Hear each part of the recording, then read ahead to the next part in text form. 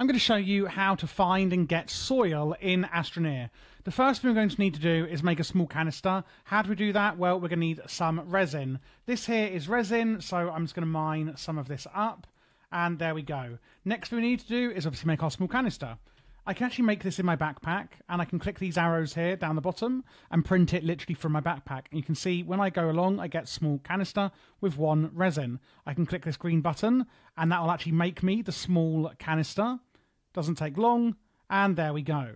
I'm then going to click my gun here, and then I'm going to click the small canister and click it onto the top of the gun.